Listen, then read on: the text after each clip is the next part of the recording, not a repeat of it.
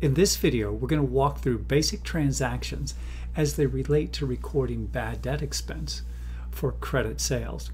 Everything we look at in this video relates to one underlying principle, a principle that you should be very familiar with by now because we've seen it over and over again. And that principle is the matching principle. Any cost we incur to generate a revenue needs to be recorded as an expense in the same period that we report the related sale. So, what does that mean? If we make a sale on credit in a particular period, of course, we will credit sales revenue which will increase net income, and we record accounts receivable. And if we make sales on credit, there's a likelihood that we won't collect some of that money that customers owe us. We don't know which customers won't pay or how much it is, but we know we're not going to collect it, all of it. So what do we need to do? The matching principle says we need to record bad debt expense in the current period, the same period that we reported the sales revenue. And again, since we don't know particularly which customer isn't going to pay us, we can't record a decrease or a credit to accounts receivable. So instead, we will use an allowance for doubtful accounts. That's a contra account, much like our accumulated depreciation, which shows up as a net reduction in plant, property, and equipment. Our allowance for doubtful accounts says that we won't collect all of our accounts receivable. We don't know in particular which customer won't pay, but we know, based on past experience, that some of them won't pay. And the matching principle says we need to record that expense in the same period we reported the sales revenue. Now, what do we do in subsequent periods when we write off an accounts receivable? And by write off, we mean rip it up, throw it away. We've called this customer once a week, every week for the past six months, and finally we've realized that they just aren't going to pay us the $2,000 they owe us. So we want to credit accounts receivable for 2000 and we will debit the allowance for doubtful accounts. Now, one thing you should notice right away, did we have any entry on our income statement? And the answer, of course, is no, because we recorded the bad debt expense back in the period we reported the sale. We reported it when we set up that allowance for doubtful accounts. Now there's two ways that we can estimate our bad debt expense or our allowance for doubtful accounts. Those two methods are the percentage of sales methods and the percentage of accounts receivable method. Let's go ahead and take a look at the percentage of sales method first.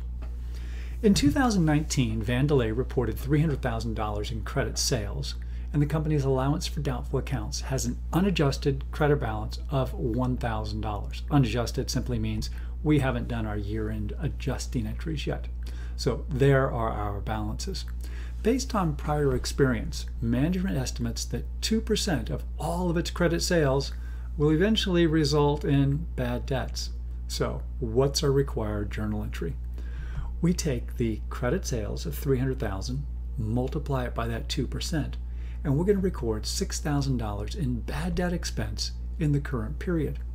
And we're going to reduce assets by recording a credit to our allowance for doubtful accounts for $6,000.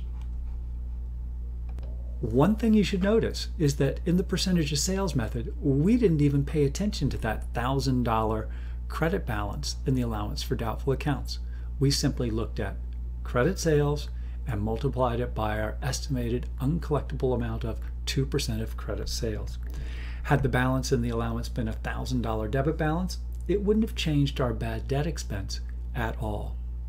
Let's go ahead now and take a look at the second method for estimating our bad debt expense or our allowance for doubtful accounts. That's the percentage of accounts receivable method.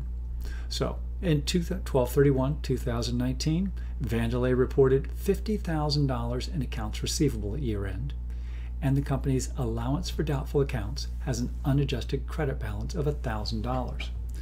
Based on prior experience, management estimates that 10% of all uncollected AR will result in bad debt expense. So at year end, if people owe us money, we're expecting, based on past experience, that we will never see 10% of it. So we want to take that $50,000 and multiply it by 10%, and that gives us $5,000. We want a $5,000 credit balance in the allowance for doubtful accounts at year end. Since we already have a $1,000 credit balance, we need to make an adjusting entry for $4,000. So our journal entry will be to record $4,000 in bad debt expense. That'll be a debit to bad debt expense of 4000 and we will reduce our assets by recording a $4,000 credit to the allowance for doubtful accounts. Again, we can't credit any particular accounts receivable because we don't know at this point in time which customers won't pay. We just know, based on past experience, some of them won't pay. Now, what if instead of a $1,000 credit balance, at year end, our allowance for doubtful accounts had a $5,000 debit balance? Well, we want to do the same calculation. $50,000 in receivable times 10% means we want an ending balance in our allowance for doubtful accounts of $5,000. But now we have a $500 debit balance, so our adjusting entry is going to have to be for 5,500. We'll record bad debt expense in the amount of 5,500 with a debit to bad debt expense, and we will reduce our assets through a credit to our allowance for doubtful accounts in the amount of $5,500. So again, to recap, everything we're doing in this chapter relates to our revenue recognition principle, which says we record revenues when we deliver the goods or perform the service. It doesn't matter when we get paid. And it's just that if we make sales on credit, if we trust customers to pay us later, we know there's going to be a cost associated with that. And that brings up the matching principle.